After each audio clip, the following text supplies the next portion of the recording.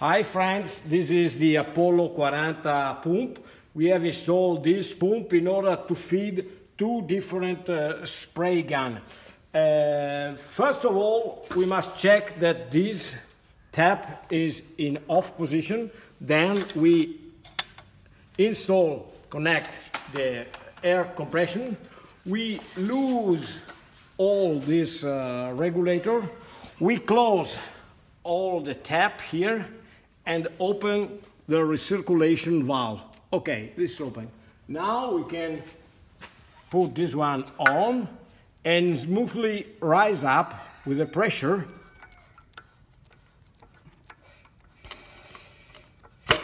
Okay, now the pump is cycling and the pump is recirculating. As you see, the recirculation. When the pump is cycling, you can close the recirculation tap as and now the pump is ready to, to work. We can set the pressure to, let me say, three or four bar. We try with four bar. Four bar, that means 160 bar in the spray gun.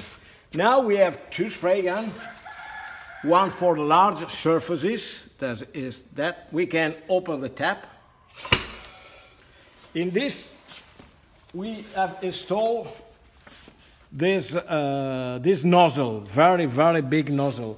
So this is for large surfaces. Can you see large surfaces?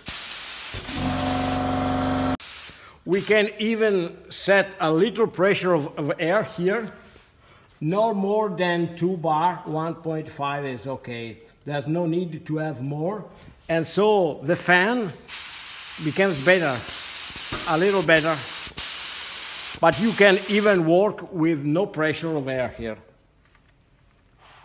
You can regulate it uh, uh, in, as you as you like best, uh, which is the, the, the, the way it, it works better. Now prove the other spray gun.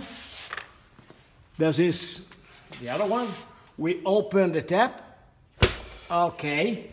In this we have installed a very little uh, nozzle and the fan is quite different. You see?